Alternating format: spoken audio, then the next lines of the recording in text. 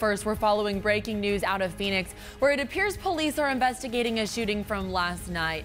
We don't have a lot of information right now, but here's what we know so far. Police responded to a scene near 22nd Avenue in McDowell overnight. We know at least seven people were hurt here.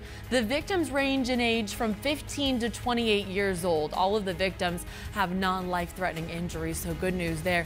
Uh, police are looking for four suspects, though, who are believed to be in their late 20s. The suspects did leave the scene before officers could arrive. A witness there says he learned about a party here at the warehouse on Snapchat, and it wasn't until after the event gunfire rang out. and then that's when they were all out. So we all got out. So we just walked to the car. So the dude was standing in front of the car, so he had his gun out. And then that's when he's, he, I think he went, ran back to his car. And like I was walking, and then me and my brother was walking more, and I got shot.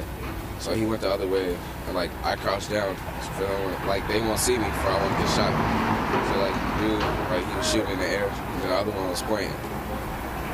And then he was pointing, he started shooting. That's what I, that's what I heard. That's when I heard my brother got, got shot. Definitely some scary moments there. The 17 year old witness tells us he believes his brother is one of the victims. We're going to continue to gather more information on this and bring you details as they become available.